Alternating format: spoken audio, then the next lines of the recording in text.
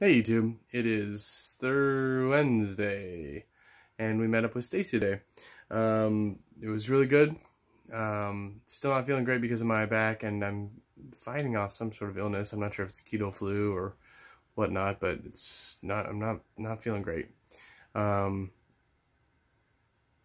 meeting with Stacy was great. We took basically all day to do that. We did get some things done around that, but that was basically what we did all day.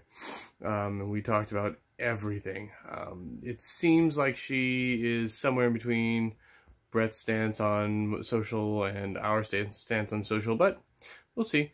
Um, I'm hoping that she's going to provide some a different voice to the conversation, and uh, because she comes with a lot of experience and things, hopefully it, it it'll sort itself out. So um, we basically spent the whole day like talking about aspects of the business or why we do what or what we should do for the future in regard to everything dental staffing, everything dental staffing affiliates, everything um, brisk oriented. So lots of work to be doing.